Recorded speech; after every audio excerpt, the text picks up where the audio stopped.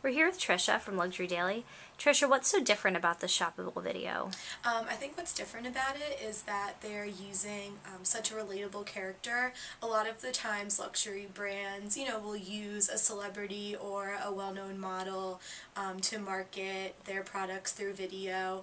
Um, but what Barneys is doing is using um, blogger Geri Hirsch and she is um, just, I mean, she's very beautiful in the video, but she is uh, more appealing to, I think, an average um, affluent consumer that um, doesn't necessarily look like a model and wants to be able to wear these high-end clothes and can afford to do so.